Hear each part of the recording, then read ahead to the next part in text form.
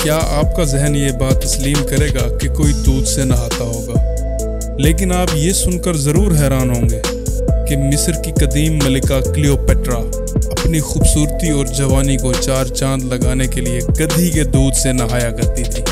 कदीम ज़माने में क्लियोपेट्रा मिस्र की मलिका को खूबसूरती का अजीम शाहकार समझा जाता था।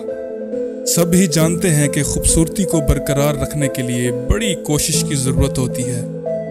और कदीम ज़माने में औरतें मुकम्मल तौर पर कुदरती जड़ी बूटियों और मादनियात से बनी हुई मेकअप मसनूआत इस्तेमाल किया करती थीं। जबकि क्लियोपेट्रा वो मलिका थी जो अपनी जिल्द की ताजगी और खूबसूरती को बरकरार रखने के लिए बाकायदा गधी के दूध से गसल किया करती थी। और इस रोज़ाना गसल के लिए दूध की काफ़ी मकदार की ज़रूरत होती थी। और ये ज़रूरत तकरीबन 700 गधियों के दूध से पूरी की जाती थी